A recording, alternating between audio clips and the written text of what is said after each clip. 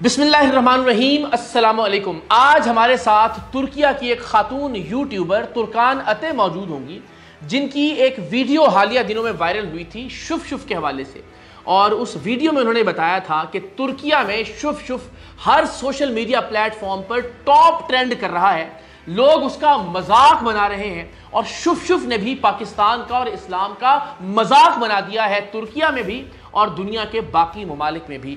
तो हम भी पहले दिन से चीख चीख कर ये गुजारिश करते रहे हैं कि सिर्फ़ पाकिस्तान में शुफ शुफ तरीकत का तसवुफ का मज़ाक नहीं बना रहा आस्थानों और खानकाहों का मज़ाक नहीं उड़ा रहा, बल्कि ये दुनिया भर में बदनामी का बायस बन रहा है। पाकिस्तान की भी और दीन इस्लाम की भी। और बदकिस्मती की बात यह है कि इस बदबख्त ने हम सब के दिलों के बहुत नज़दीक अकीदा ख़त्म नबूत का नाम इस्तेमाल करना शुरू कर दिया है।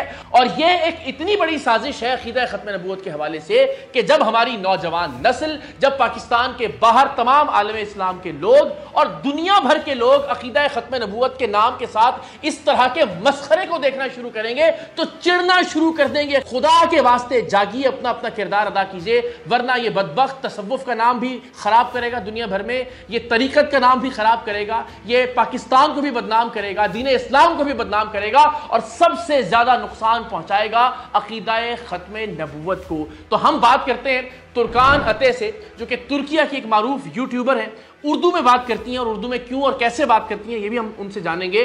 और उनसे ये मालूम करेंगे कि तुर्किया में हमारे मुसलमान बहन और भाई हक खतीब और शुफ शुफ की वीडियोस देखकर पाकिस्तान के बारे में, दीन इस्लाम के बारे में, वो इस्लाम जो पाकिस्तान में प्रैक्टिस किया जा रहा है, उसके बारे में क्या नजरियात रखते हैं, क्या सोचते हैं किस तरह से इस बदबख्त ने पाकिस्तान को और दीन इस्लाम को मज़ाक बना के रख दिया है अपनी हरकतों की वजह से, अपने करतूतों की वजह से, अपने ड्रामों और शोबदेबाजियों की वजह से। तुर्कान अते मरूफ यूट्यूबर हमारे साथ इस वक्त मौजूद हैं। अस्सलाम वालेकुम और बहुत बहुत शुक्रिया कि आपने हमारे लिए वक्त निकाला। मुझे सबसे पहले तो ये बताइएगा और हमारे व्यूअर्स भी ये जानना चाहेंगे कि आप इतनी अच्छी उर्दू कैसे बोल लेती हैं? ज़रा ये हमें बताइए कि उर्दू कैसे सीखी आपने? आप तुर्की में कहाँ रहती हैं और आप क्या काम करती हैं एग्जैक्टली वालेकुम कार भाई, मैं ठीक हूँ। आप कैसे उम्मीद है आप ठीक होंगे? अच्छा मैं बताती हूँ, मुझे उर्दू कैसे इतना अच्छी है।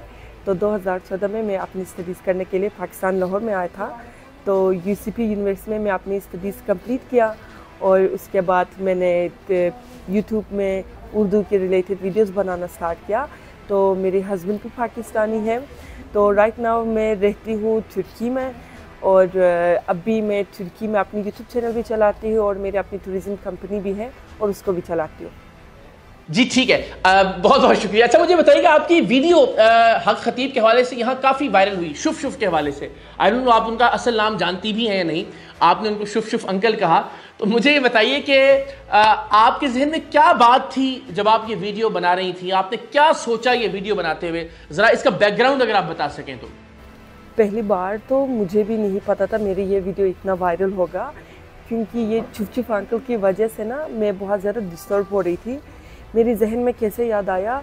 ये वीडियोस जब तुर्की में वायरल होना स्टार्ट किया लोगों ने उसकी मज़ाक उड़ाना स्टार्ट किया तो आपको पता है मेरे हस्बैंड भी पाकिस्तानी हैं। सारे लोग उसको कहती थी, आप कहाँ पे वो बोलती थी, मैं पाकिस्तान से हूँ। फिर लोग उसकी मज़ाक उड़ाना स्टार्ट किया। अच्छा आप तो चुप चुप को यकीन करता है। और लेकिन उनको भी ये नहीं पता कि बाकी पाकिस्तान में उसको यकीन नहीं करता, क्योंकि इधर तुर्की के लोगों को ना उधर की रियलिटी और लोग क्या सोचती है नहीं पता। फिर बाद में लोगों ने मेरी वीडियोस देखना स्टार्ट किया, मैं पाकिस्तान की प्रमोट करती हूँ, उर्दू में बात करती हूँ। उन्होंने मुझे ये करना स्टार्ट किया क्वेश्चन सवाल करना स्टार्ट किया, यार, वो लोग ऐसी है, आप लोग इसको यकीन करती हैं, ये इस्लाम में बिल्कुल मैच नहीं करता। पाकिस्तानी लोग इसको कैसे यकीन करता है? इतना लोग आके इसके साथ वीडियोस बनाती हैं। लेकिन तुर्किश लोगों का ये नहीं पता है कि ये प्रॉपर एक ड्रामा है, एक गेम है। फिर बाद में इसके बारे में मैंने एक वीडियो बनाना सोचा। मैंने कहा मैं एटलीस्ट ये बनाऊँ मैं दिखा दूँ यार इधर की लोग इस बंदा के बारे में इस तरह सोचती हैं। इस, इस सोच में मैंने ये वीडियो बनाना शुरू किया। ठीक है। अच्छा ये जो जो शुभ शुभ अंकल हैं ये तुर्किया में कितने मशहूर हैं? और क्या लोग इनको वाकई असली मानते हैं कि ये वाकई अल्लाह वाले हैं या पीर हैं? या मज़ाक बनाते हैं इनका अपनी वीडियोस में या अपनी गुफ्तु के दौरान? पहली बार तो ओबियसली तुर्किश लोग इसको असली यकीन नहीं करता। ये ऐसे ही मशहूर हुआ, सारे लोग इसकी मज़ाक उड़ाना स्टार्ट किया। लाइक like ऐसे वो तुर्किश यूट्यूब में और टिकटॉक में चले जाए, ऐसे कपल्स या दोस्त साथ साथ आती है टिकटॉक वीडियोस बनाती हैं, एक बंदा अपनी हाथ ऐसे करती है केरी कि अच्छा ना, अभी मैं आपको शुभ शुभ करूँगी, आपका सारी मसला मसाइल सॉल्व हो जाएगा।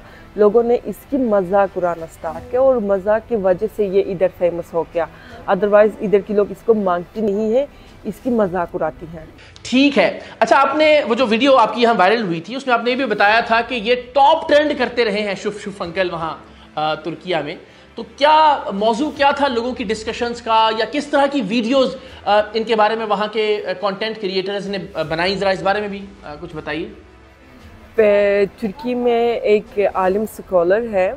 पहले तो उस बंदे ने उसकी बारे में वीडियो बनाना स्टार्ट किया। उसने कहा, देखो, पाकिस्तान में एक छुप छुप अंकल है। उसने ऐसे लोगों को छुप छुप करके सब लोग सोच रहे कि सारे मसा मसाइल सॉल्व हो रही है और सारे लोग ना उसके लिए नीचे मर रही है, रो रही है। उसने कहा, मैं दिन में ना सिक्सटी हदीस देखती हूँ, कुरान की आयत देखती हूँ। कोई भी ना उस आयत की सुन के नीचे ना नहीं जोड़ता है, रोती नहीं है, ऐसे ना आके मानती नहीं है। उस स्कॉलर की वजह से ही ये चुचुफ अंकल की वीडियोस ना लोगों ने देखना स्टार्ट किया।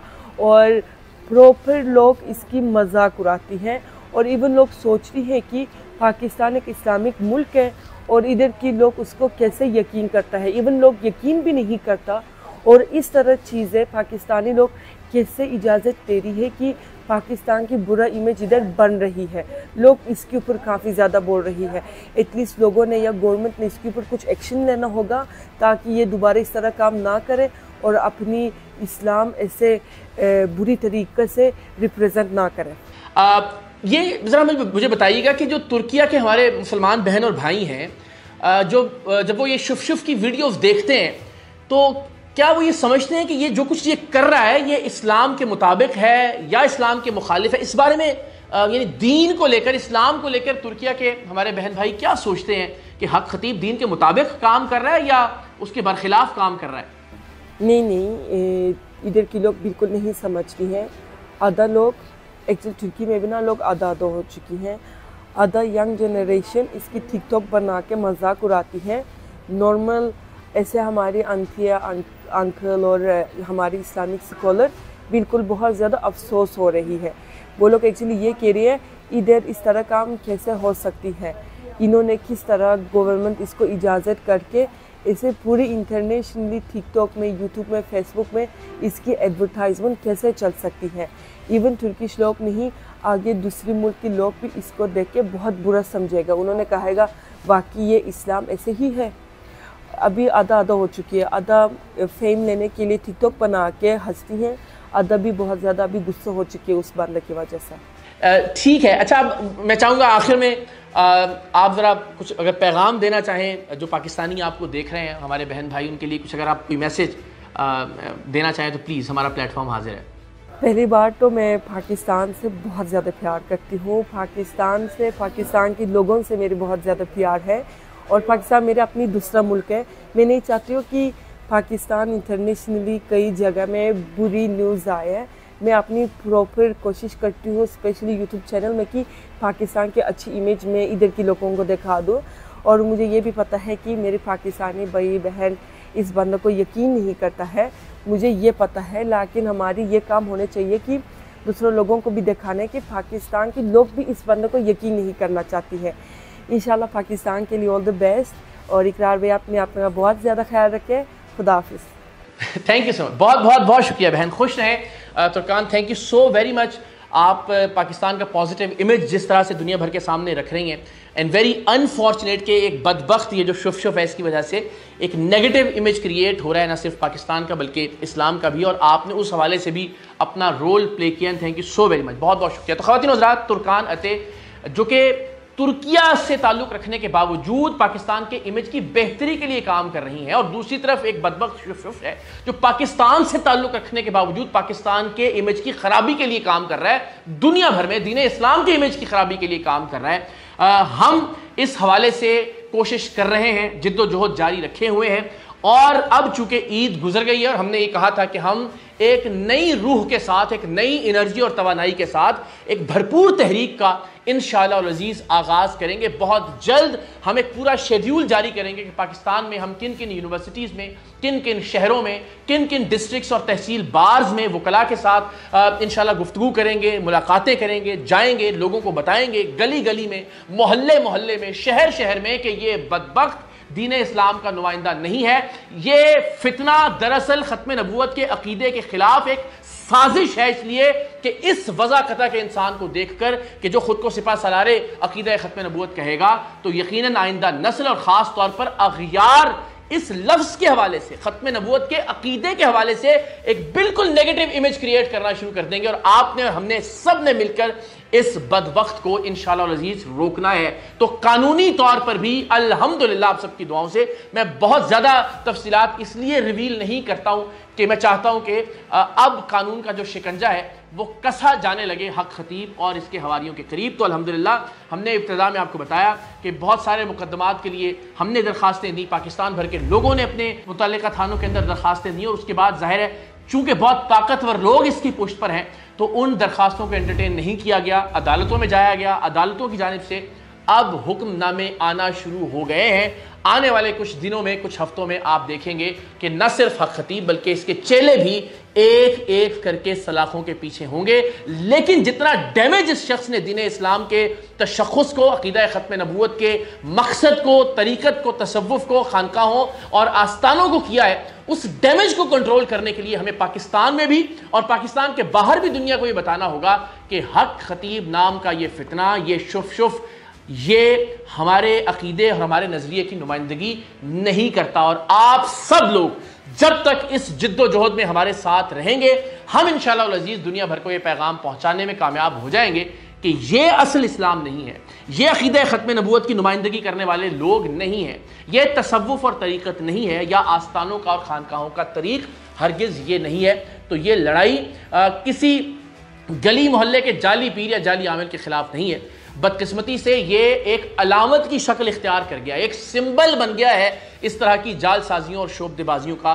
इससे बड़ा फितना दौर हाजिर में शायद ही कोई और होगा जिसने अकीदा ख़त्म नबूत को, दीन इस्लाम के तशख़स को, खानकाहों और आस्थानों को तसवुफ़ को और तरीक़त को इतना नुकसान पहुँचाया है। लिहाजा हमारी तमाम तर एनर्जी हमारी तमाम तर तवज्जो इस फितने के खात्मे की जानब मबजूल है। कुछ दोस्त ये भी कहते हैं कि ये ज़रा तवालत इख्तियार कर गया मामला। कुछ को ये भी शिकवा होता है कि इसके अलावा किसी और मौजू पर मैं ये समझता हूँ कि इस वक्त इस फितने को जड़ से उखाड़ फेंकना सबसे ज़्यादा अहम है और मेरी ज़िंदगी का भी ये मकसद और मिशन है। अल्हम्दुलिल्लाह, पाकिस्तान के गुजूर मुसलमान, पाकिस्तान के गुजूर अफराद, पाकिस्तान के गुजूर आवाम इस फितने के ख़ात्मे के लिए इस तहरीक का हिस्सा हैं, हमारे साथ हैं और हम सब मिलकर इन अज़ीज़ इसको इसके कानूनी अंजाम तक पहुँचाएँगे और अंजाम तक पहुँचा कर दम लेंगे।